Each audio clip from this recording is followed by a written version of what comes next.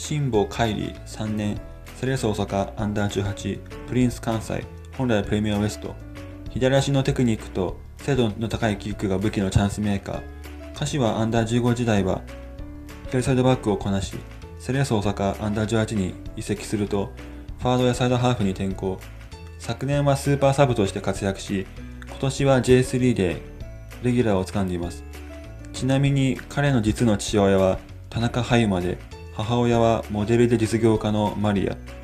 柏アンダー18にてっきり昇格したかと思ったら、セレッソ大阪アンダー18にいて、しかも母親が再婚してサントスに名字が変わってたので、最初はびっくりしました。まあ、また離婚して、また辛抱っていうその母親のせいに戻ったんですけど。で、母親がパキスタン人のハーフということもあり、当然イケメンですね。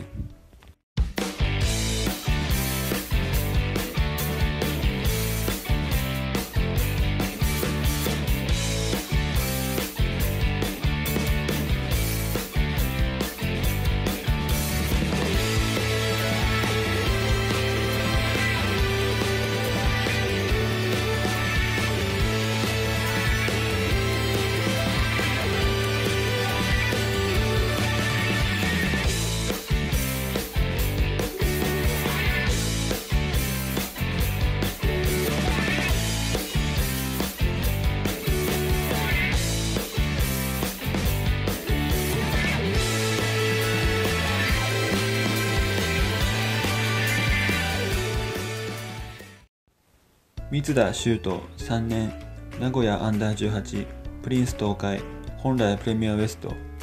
世代屈指のドリブラー。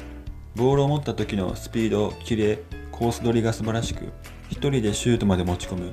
昨年は9月に初めてアンダー17代表に呼ばれ1ヶ月後のアンダー17ワールドカップ本大会に滑り込んだ。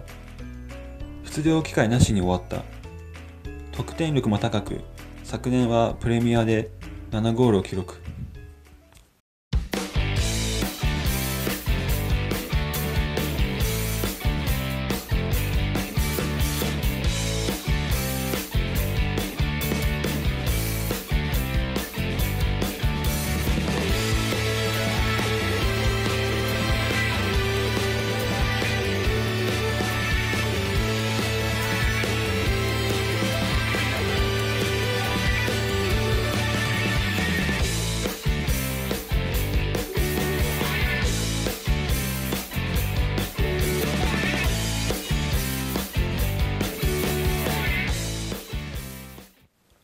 島健太3年清水ユースプリンス東海プリ本来はプレミアイースト。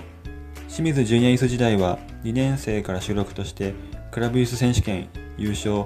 3年時はキャプテンとして JFA プレミアカップ優勝に貢献。早くから期待されていた逸材だが昨年まではユースでスタメンを取れなかった。今年はキャプテンと10番を背負いやっとユースで中心に君臨。中学時代から中田秀のような年齢離れした冷静さが目を見張り、特に相手との駆け引きとボールタッチのうまさ、アジリティを生かし、ファーストタッチで相手を抜き去るボールの受け方がとてもうまいです。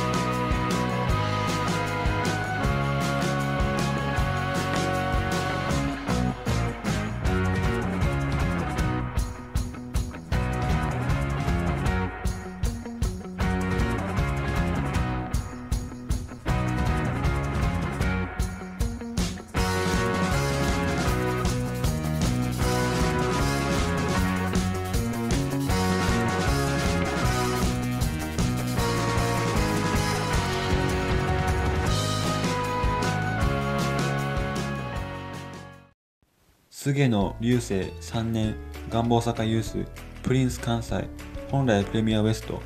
昨年終盤にユースで頭角を現し今年は J3 を主戦場としている。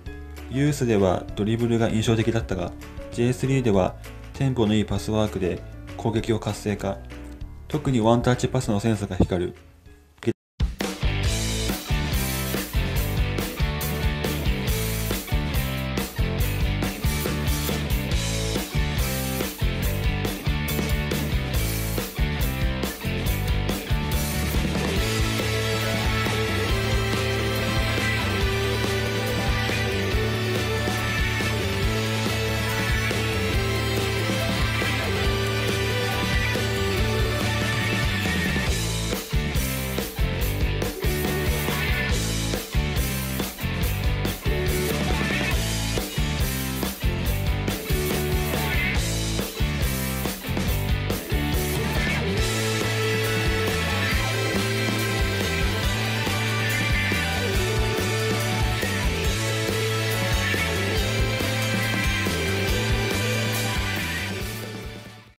佐々木修馬3年横浜 FC ユースプレミア関東本来プレミアイースト。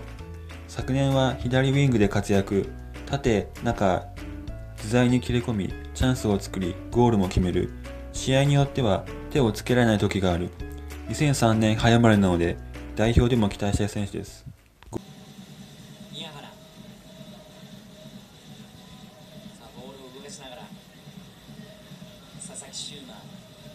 シューマー。